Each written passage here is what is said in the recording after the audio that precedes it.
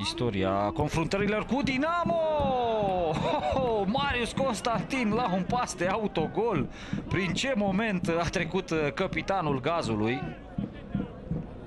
Da, răsuflă ușurat uh, pentru că într-adevăr uh, a fost un moment tare delicat. Iată aici, oh, lovește prost uh, mingea, alunecă Marius Constantin, uh, se întinde după acel balon care trece puțin pe lângă poarta lui Răzvan uh, Pleșca, aglomerare de